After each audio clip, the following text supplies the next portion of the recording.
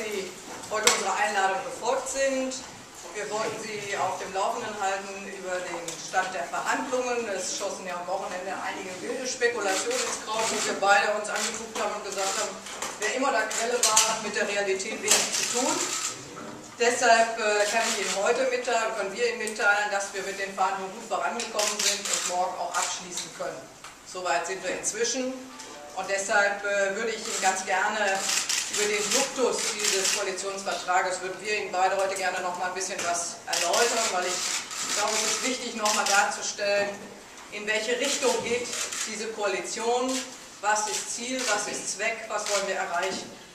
Für uns ist wichtig, Grüne und SPD investieren in die Zukunft Nordrhein-Westfalens, Kinder, Kommunen und Umwelt. Das sind unsere großen Themen.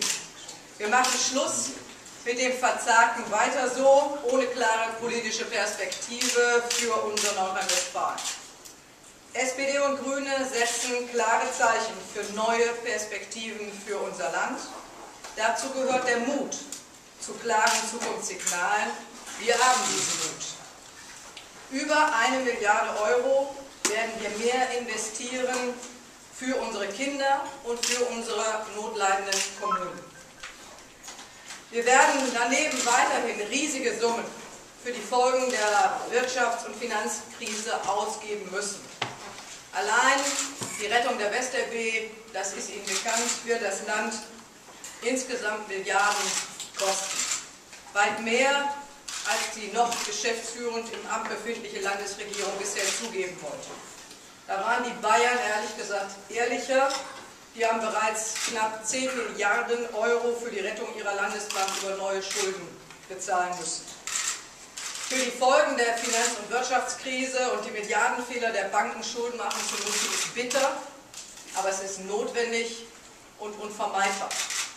Aber wenn diese Zahlungen notwendig sind, weil Banken systemrelevant sind, dann sind Investitionen in Bildung, in unsere Kinder, ebenso recht und erst recht notwendig und auch systemrelevant. Auch wenn dafür leider angesichts der sehr schwierigen Haushaltslage zusätzliche Schulden unvermeidbar sind. Diese Entscheidung haben wir gemeinsam getroffen. Unsere Kinder sind unsere Zukunft und Zukunft kann nicht lange warten und nicht länger warten. Wir müssen jetzt handeln. Sonst wird Nordrhein-Westfalen nämlich keine gute Zukunft haben. Und wir, Grüne und SPD, setzen hier klare politische Schwerpunkte für die nächsten Jahre. Deshalb investieren wir alleine in diesem und im nächsten Jahr insgesamt eine halbe Milliarde Euro in die Zukunft unserer Kinder, für den beitragsfreien Kindergarten, das lebenslange gemeinsame Lernen, nee, das längere gemeinsame Lernen, lebenslang nicht, aber das längere gemeinsame Lernen und die Abschaffung der Studiengebühren. SPD und Grüne investieren in mehr Bildung und die Förderung für die Kleinen in den Kitas und das machen wir an drei Punkten fest. Erstens schaffen wir mehr Kitaplätze, zweitens verbessern wir die Qualität bei der frühkindlichen Förderung und drittens gehört auch die schrittweise Abschaffung der Gebühren der Elternbeiträge dazu. Wir fangen Mitte 2011 mit, einem, mit dem letzten Kindergartenjahr an.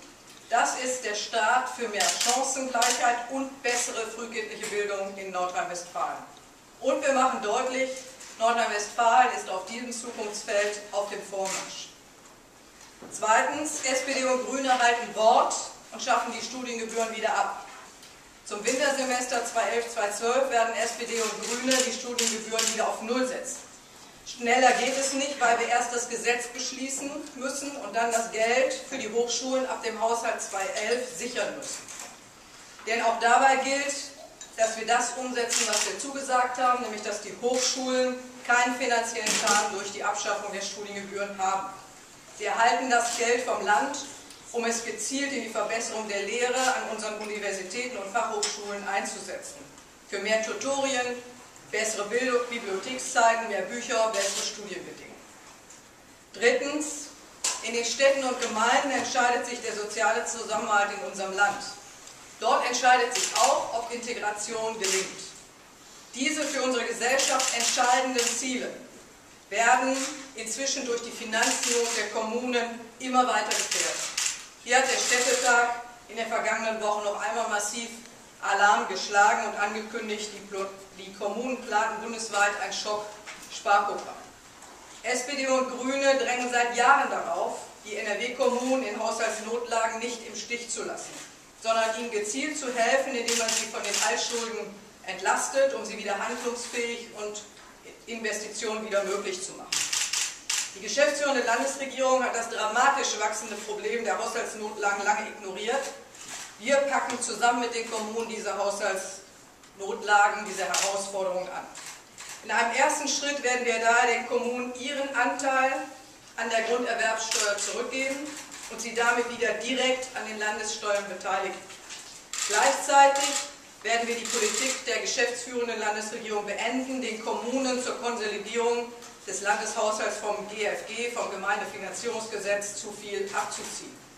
Beide Maßnahmen bedeuten für unsere Kommunen ein Plus von etwa 300 Millionen Euro. Darüber hinaus werden wir noch in diesem Jahr einen Entschuldungsfonds von 350 Millionen Euro für die Städte und Gemeinden mit den großen strukturellen Haushaltsproblemen auf den Weg bringen. Bei uns können sich die Kommunen darauf verlassen, Stadt und Land Hand in Hand. Wir wissen, nur starke Städte, Gemeinde und auch Kreise können für ihre Einwohnerinnen und Einwohner Lebensqualität und Sicherheit gewährleisten. Und wir wollen die Strukturen vor Ort so umstellen, damit eine aktive, eine vorbeugende Sozialpolitik betrieben werden kann, die sicherstellt, dass wir kein Kind mehr zurücklassen. Wir werden deshalb gezielt vor Ort die Vorsorge stärken, Kinder und Familien so früh wie möglich Unterstützung anbieten, um Fehlentwicklungen zu korrigieren und zu verhindern, dass uns Kinder, Jugendliche und auch Familien verloren gehen. Ich bin fest davon überzeugt, wir sind fest davon überzeugt, dass eine solche gezielte Investition dazu sorgen wird, dass wir mittelfristig viel Geld im Bereich der Nachsorge, im Bereich der sozialen Kosten sparen können werden. Viertens, aber auch Investitionen in Umwelt, erneuerbare Energien und den Klimaschutz sind Investitionen, die wir brauchen, sind auch Investitionen für unsere Kinder. Wir müssen die Schöpfung für die nachfolgenden Generationen bewahren. Das ist eine große Aufgabe. Dieser Verpflichtung einer nachhaltigen Umweltpolitik werden wir mit der neuen Landesregierung nachkommen. Das sind die Inhalte, für die wir gemeinsam das Vertrauen der Menschen in Nordrhein-Westfalen erhalten haben. Wir werden diese Inhalte konsequent umsetzen. Darauf haben die Menschen zu Recht einen Anspruch, denn sie wissen, dass dieser Politikwechsel zum Besten für Nordrhein-Westfalen ist. Das ist Ziel und Inhalt und Richtung unseres Koalitionsvertrages. Und Silvia Lörmann wird dann noch den Teil Bildung, weil er ja so eine besondere Bedeutung hat, noch etwas detaillierter ausführen. Ja, auch von mir natürlich äh, äh, ein herzliches Willkommen. Ich hätte jetzt schon wieder fast gesagt, Glück auf, äh, dass Sie Interesse haben am Fortgang unserer Gespräche. Auch ich kann sagen, dass wir wirklich sehr intensiv äh, Redaktionsgruppen und Feinschliff auch am Wochenende äh, weiter gemacht worden ist, daran weitergearbeitet worden ist und wir eben heute und morgen dann äh, zu den Ergebnissen kommen werden, um unseren Parteigremien, aber auch der Öffentlichkeit dann einen Gesamtkoalitionsvertrag vorlegen zu können.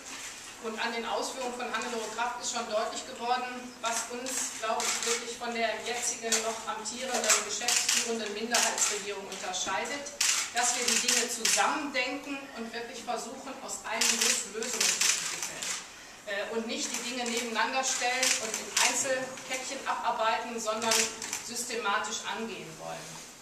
Äh, und ein Ziel dabei ist, dass wir Potenziale, die in Nordrhein-Westfalen stecken, ob das in Arbeitsplatzpotenzialen ist im Bereich des Klimaschutzes und der Energiepolitik, ob das die Potenziale der Kinder und Jugendlichen sind, die wir insgesamt äh, heben wollen und ausschöpfen wollen, ob das die Möglichkeiten unserer Kommunen sind, die im Moment so eingeschränkt sind, dass sie nicht handlungsfähig sind und dass die Daseinsvorsorge vor Ort gefährdet ist und man von der Gleichwertigkeit der Lebensverhältnisse im Grunde nicht mehr sprechen kann.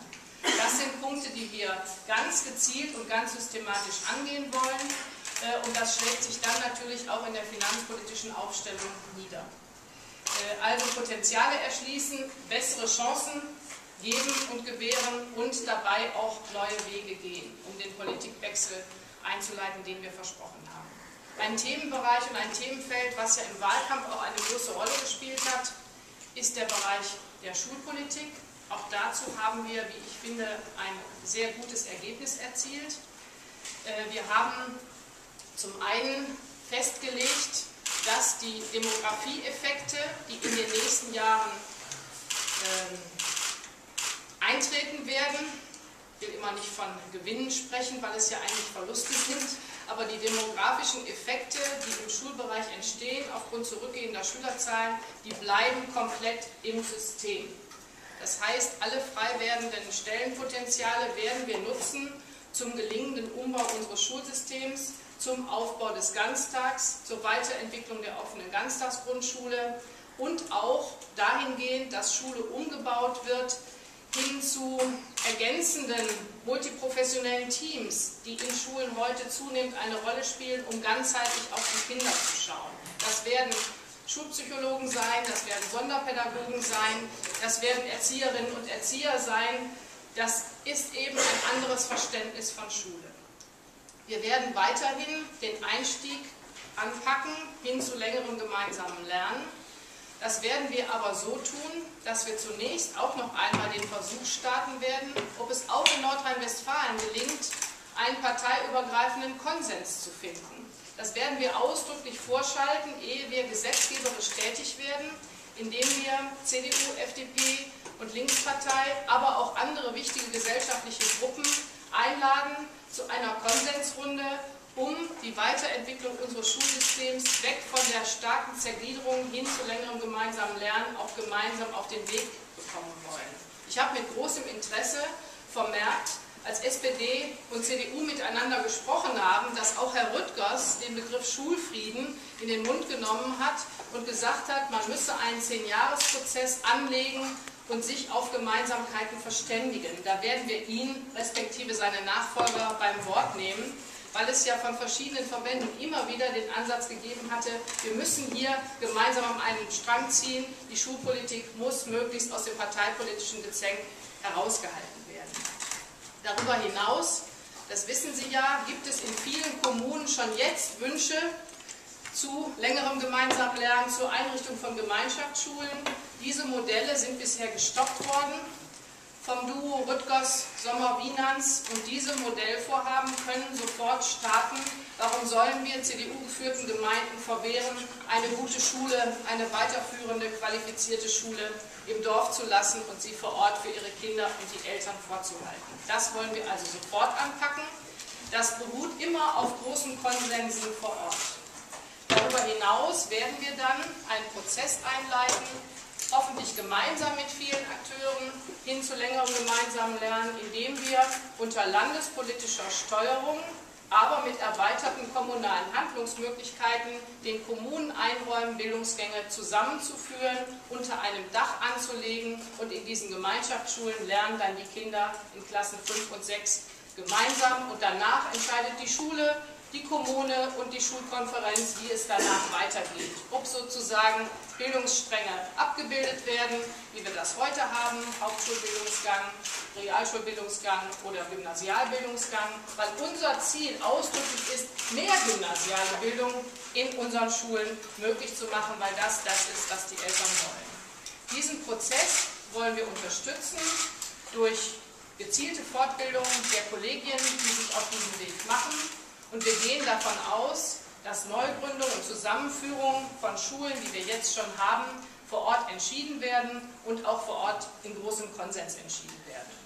Diesen Prozess, da gehen wir von aus, weil wir damit langsam anfangen, weil wir die Gesellschaft mitnehmen wollen, die Politik mitnehmen wollen, dass wir bis zum Ende der Legislaturperiode 30 Prozent unserer Schulen der Sekundarstufe 1 zu Gemeinschaftsschulen zusammenführen. Das heißt, wir zwingen da niemanden, weil wir überzeugt sind, dass das Konzept überzeugend ist und hoffen auf einen sehr produktiven und äh, gut angelegten Prozess.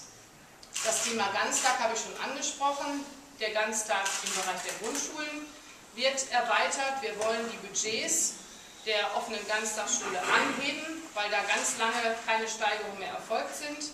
Und wir wollen natürlich auch im Bereich der Sekundarstufe 1 den Ganztag ausbauen zum Thema Schulzeitverkürzung. Das ist ja auch ein Dauerbrenner gewesen im Wahlkampf aufgrund der überhasteten Reform.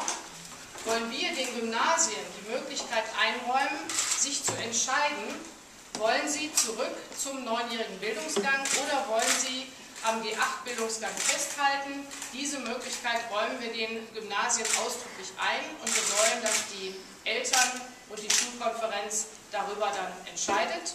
Das zwingen wir niemandem auf, sondern wir stellen es den Schulen in Aussicht. Es ist in den, über das Wochenende, ich weiß ehrlich gesagt wirklich nicht warum und woher diese Information kam, äh, in den Raum gestellt worden, als solle es äh, Arbeitszeitbelastung für die Lehrerinnen und Lehrer geben. Im Schulkapitel steht davon nichts, das wusste ich aus eigener aus eigener äh, ganz konkreten Anschauung und Mitgestaltung. Es steht dazu auch weder irgendetwas im Kapitel ähm, Innen, Dienstrechtsreform oder so etwas und es steht auch nichts darüber im Kapitel Finanzen. Äh, deswegen wundert mich sehr, wer da, wem auch immer da ein Wehren aufgebunden hat. Also da gibt es keine Planungen.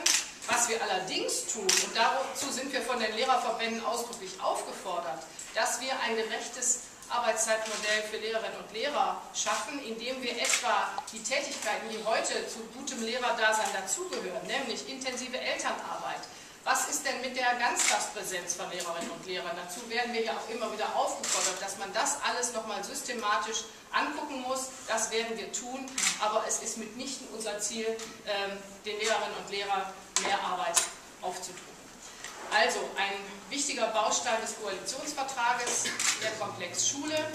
Ähm, wir haben in dem Arbeitsfeld, aber auch in allen anderen, das will ich nochmal ausdrücklich sagen, wir haben die ganze Zeit geguckt, was ist richtig, was wollen wir anlegen und in den Arbeitsgruppen ist dann überlegt worden, was ist die beste Lösung. Es hieß nicht, da habt ihr das vorgeschlagen und da haben wir das vorgeschlagen und jetzt setzt ihr euch hier durch und wir da, sondern man hat immer auch bei den Formulierungen geguckt, was ist gut, was bietet sich an, was wird äh, äh, dann letztlich festgehalten.